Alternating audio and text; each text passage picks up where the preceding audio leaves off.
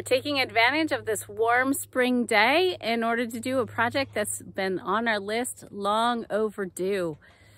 So I'll show you Farmer Ruben and Farm Boy Simeon are out here. They're carrying and installing the hoops for these two cold frame greenhouses that are out here in the farthest corner of our farm.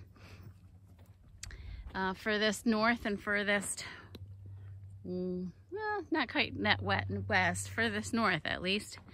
And um, you, some of you may recall that we, the Valentine's Day blizzard that we had in 2021 took down our big cold frame where we did all of our greens in the spring and in the fall.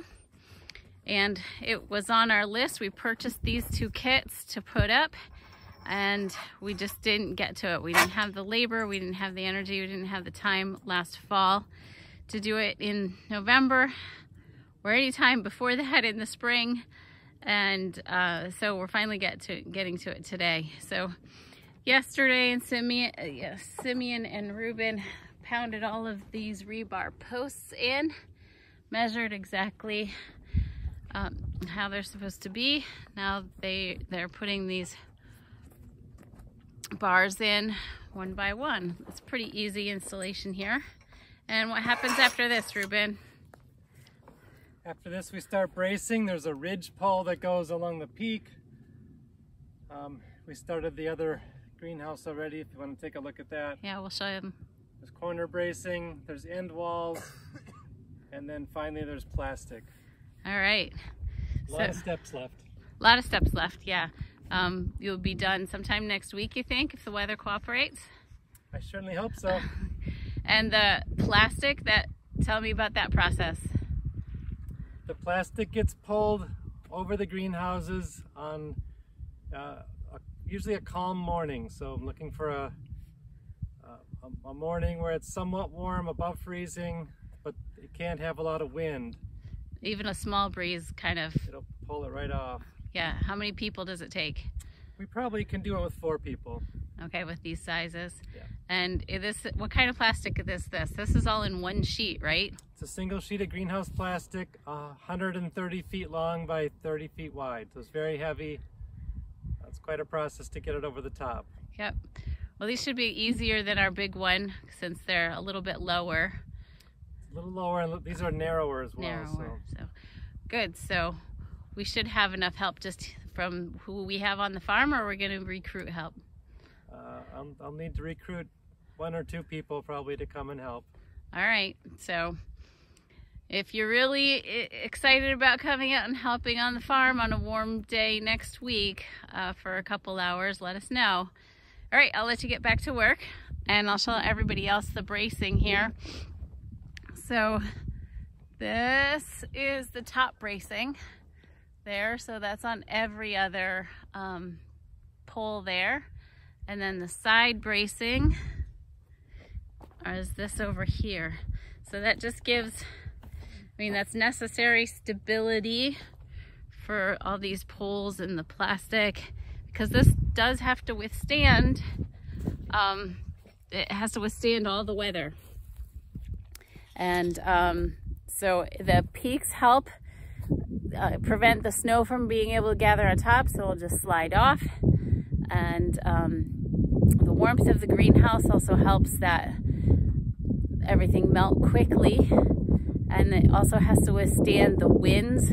So we're up here on in at the top of a valley here, so we'll have west winds that will come sweep through this area. But um, but we've done well as long as you anchor these really well to the ground. Um, and there's lots of engineering that goes goes into it that I don't just don't know all the pieces of either. But um, the greenhouse the hoop house that we had up for years and years. Um, we've even moved it and taken it down and we finally lost it last year. That was extraordinary, extraordinary wind and huge drifts.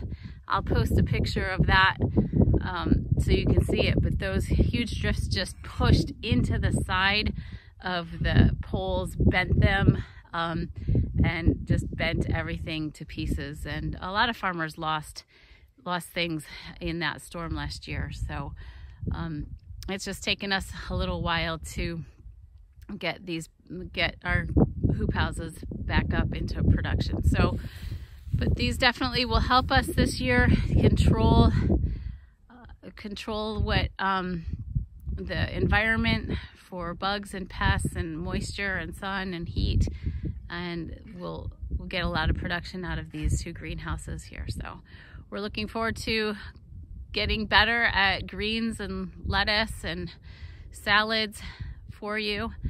And hopefully if these go well, we can add more greenhouses. We've got some space here. So Farmer Ruben would like to add a few more of these each year and get better and better at greens because we know that those are our favorite product in our market boxes. So, uh, all right, well, you have a great day. And if you're just finding this, us, this farm um, on YouTube, I want to let you know that you can find out more about us at willowhavenfarmpa.com. Check out our market boxes if you're in the local area. Um, they're customizable. They're all year round now.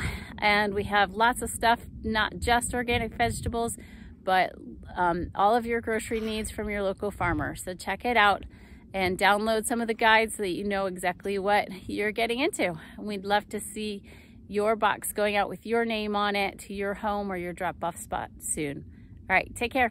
Bye.